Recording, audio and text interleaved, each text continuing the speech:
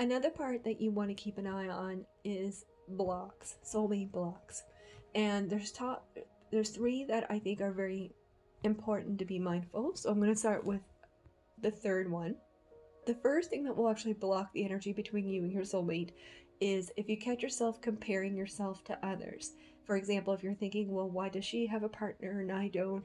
Or why can't I have what they have? That kind of thing. Because what that does is you're taking the energy off yourself and you're projecting it onto someone else and you're missing the opportunities to do the lesson, to do the work, to get yourself ready for your soulmate.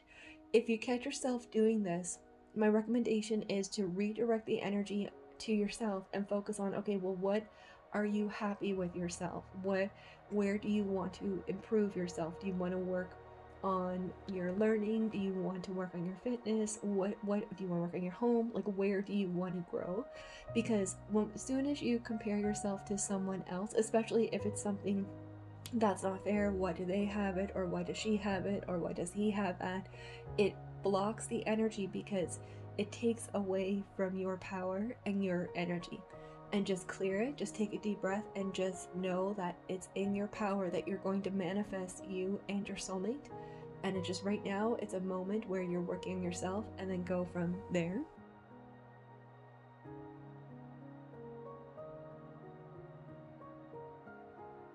The second block is thinking, and this is a, a big one, is having the thought that you'll never find your soulmate.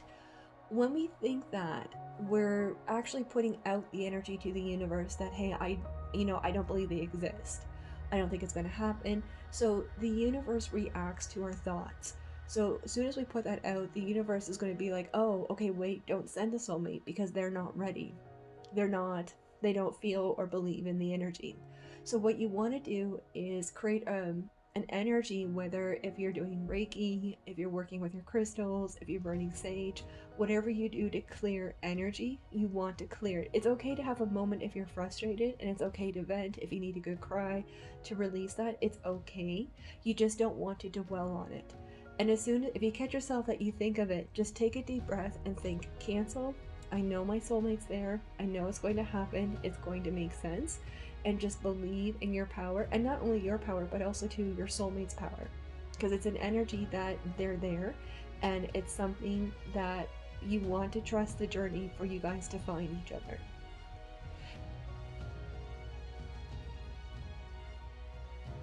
And the number one block which i think many already know is we keep thinking it's someone from the past. So it's similar to the first one where if we compare ourselves to others it's similar to the number three block when we if we compare ourselves to another couple or another person. If you think about someone from the past, an ex or someone that you want to be with, what happens is you're limiting the energy between you and your soulmate, but also to you and the the universe.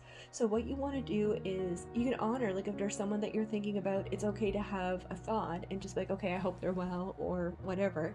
But if you find that you're only thinking about them and you're not creating any you're not putting any energy to create a space for someone new or to create a space to uh, to meet your partner, what happens is the universe puts everything on hold and nothing happens. So, and here's the thing too, and I've seen it over the years I've been doing readings. If you and someone are meant to be, it will happen. There's nothing you're going to do that will stop that. What you want to do is let go of the energy of the past so you can make way for the new. If you, and just keep reminding yourself, if you're meant to be, it will happen. But if there's someone else there for you, create that space. And if you catch yourself thinking about someone, especially because a lot of intuitives, what happens is we can't stop thinking about someone because the energy's so loud or it's stuck. So, one technique, which doesn't sound very psychic, but it does work, is if you find you can't stop thinking about someone, what you want to do is every time you think about them, especially when it's not letting you go, in your mind, say the alphabet four or five times in a row, and you keep saying it in your mind until you forget what you were thinking about. And then what you do is redirect it. It's very important during this energy to maybe look into a new book, taking a class, doing research on something, something to get your mind off it. So that way you're clearing the energy. And the other part too, when you clear energy, especially from someone in the past, it gives them an energetic kick in the pants for them to do the work that they need to. But uh, if you guys are meant to be together, you give them that kick where, okay, like I'm not nurturing the energy of the past, I'm creating an energy for something new. It just helps them move that forward. But the other part to you is you're giving back your power to yourself, saying that no, I'm not settling for the past, I need something new and stronger. So it's very important to keep clearing that energy and to believe in your heart that your soulmate is coming and is there.